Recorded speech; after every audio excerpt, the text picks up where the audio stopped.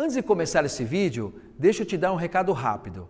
Se você quer saber mais sobre xamanismo, eu estarei ministrando a jornada da sabedoria ancestral. Serão quatro aulas lindas, 100% online e 100% gratuita. Se você quer garantir a sua vaga, faça a sua inscrição no link que está aqui na descrição desse vídeo. Eu te vejo lá. Mas o tempo aqui na Terra, vocês viram as reportagens? Que a Terra está girando mais rápida? Isso não é o ideal. Que a, a frequência da Terra, a frequência vibracional da Terra está baixa. Isso não é legal. E aí o ser humano ainda se dá o luxo de não querer crescer, de não querer mudar, de não querer evoluir, de não querer despertar. Aí, gente, é só esperar a ação do universo, né? Eu não concordo com essa frase, mas ela é muito real. Ou vai pelo amor ou vai pela dor. Eu não acho eu não acredito que nenhum ser humano deva crescer pela dor. É triste isso. Sabe? Dói imaginar que um ser humano possa crescer pela dor.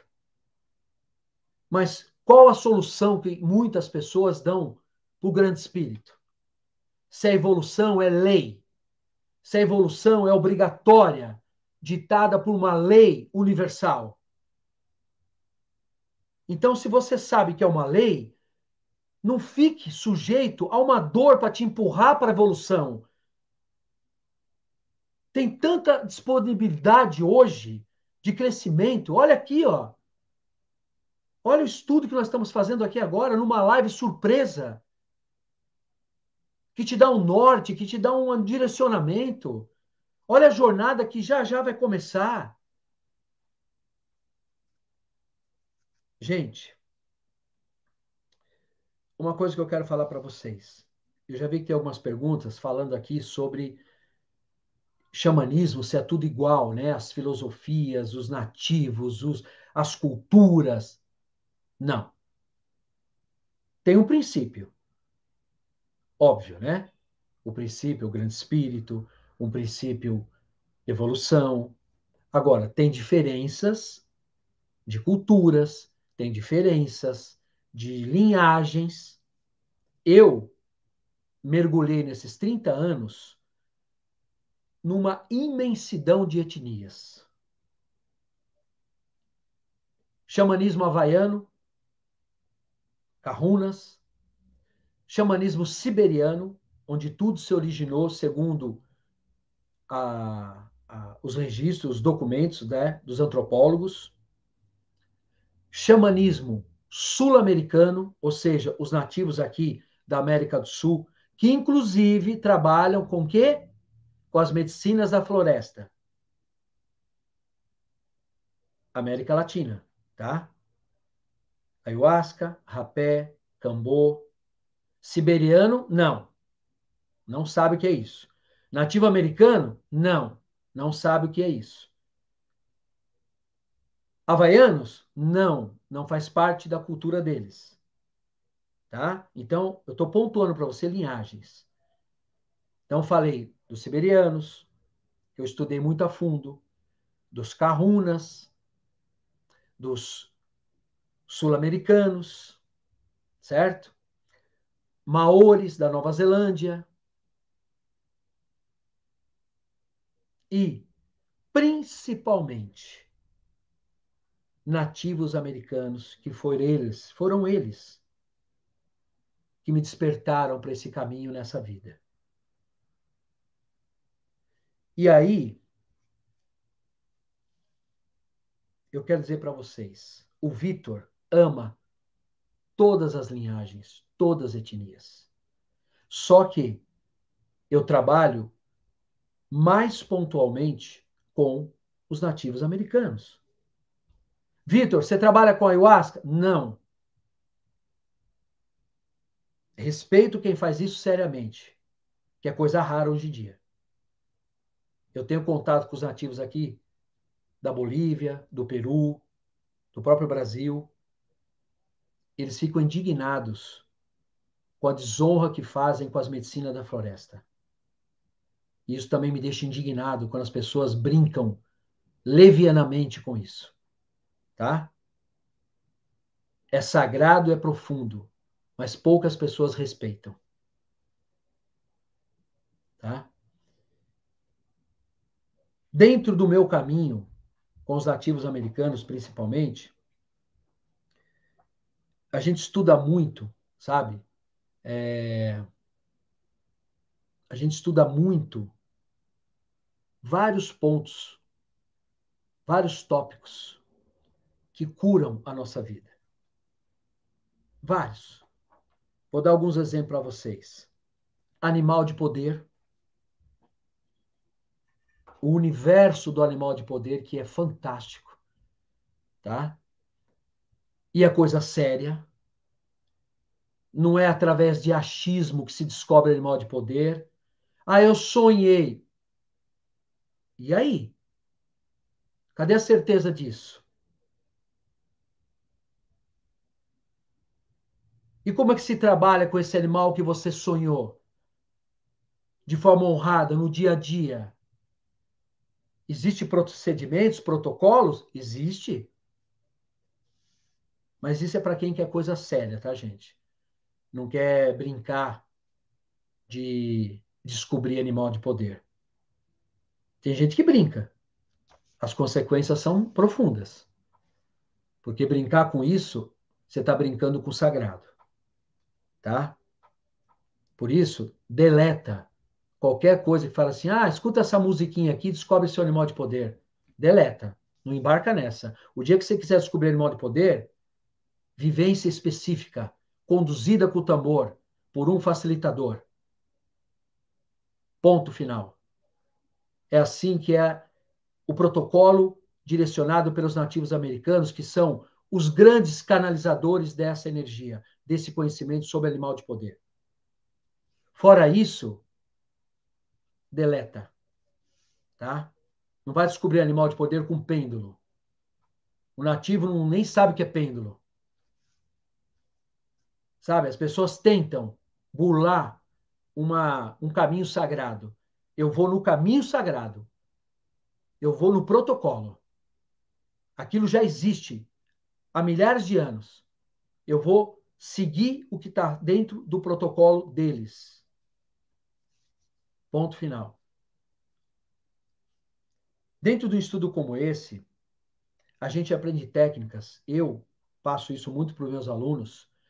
Técnicas de cura do nosso DNA sutil.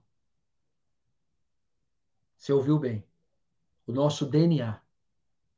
Que a gente pode fazer trabalhos profundos atingindo as fitas do DNA. Tá? Por isso que eu estou te dando esse passo a passo do que é xamanismo e a seriedade que é isso tudo que nós falamos aqui, e eu falo há 30 anos. Tá? Nós trabalhamos com decretos de poder, e mais do que isso, você decretar, você falar, você emanar preces no seu dia a dia, nas suas palavras. Nós estudamos, por exemplo, quem estava aqui desde o início e ouviu a canção que eu abri?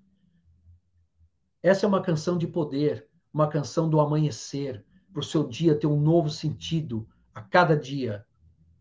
Tudo se renovar, alguma coisa linda acontecer e tudo mudar e você ajudar isso com os seus decretos, com as suas canções. Estudamos isso dentro do xamanismo. Quem chegou agora, depois volta a live no começo, porque hoje é um dia muito especial do que eu estou passando para vocês, tá? Nós estudamos cortes de filamentos energéticos quando são negativos, que nos ligam a situações e pessoas, a ambientes, para que a gente tenha leveza na alma, fluidez, que a gente possa voar, que a gente possa caminhar sem ficar bloqueado, estagnado. Nós estudamos os instrumentos de poder, né? por quê? O que esse som faz? O que essa energia muda? Só para você ter uma ideia, tambor é estudado nos Estados Unidos em laboratório para saber por que a vibração dele causa e reverbera uma cura no nosso sistema. Olha só.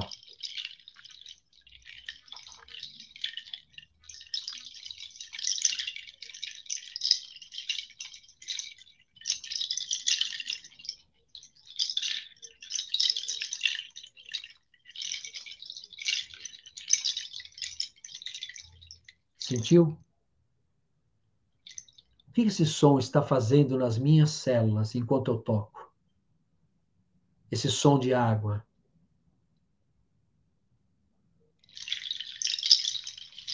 O que, que esse som está fazendo no meu padrão cerebral, meu padrão mental, enquanto eu toco?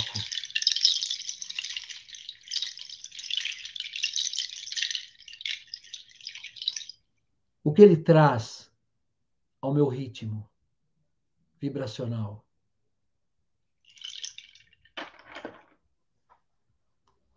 Cura. Isso. Cura. Então, quando a gente estuda os instrumentos, você não vai estudar o objeto em si.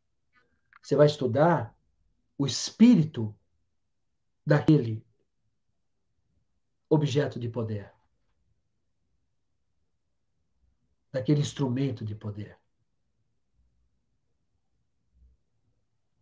Foi assim que os nativos, ancestralmente, criaram os instrumentos. Tem propósito, tem fundamento. Dentro desse caminho, nós estudamos sobre os cristais, que são células da Mãe Terra, que a Mãe Terra nos empresta, nos cede por um tempo, para que a gente possa trabalhar com a energia de cada um.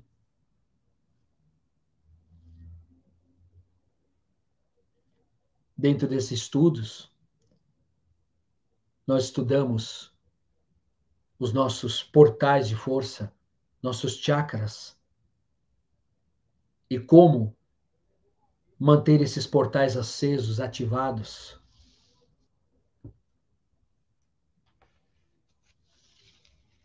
Faz sentido para vocês isso?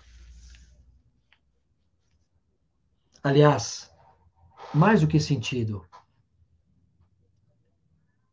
isso traz um, um significado para você? O que é o xamanismo? na essência, no real. Por isso, eu quero dizer para você,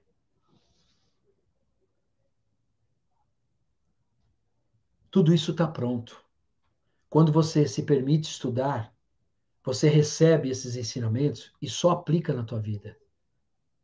Você não precisa testar. Você aplica, porque já está pronto há milhares de anos.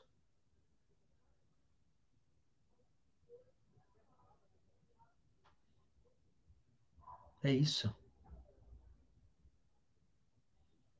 Sabe? Aquilo já vem para te levar para uma mudança. Então, eu quero que você se prepare, porque a sua jornada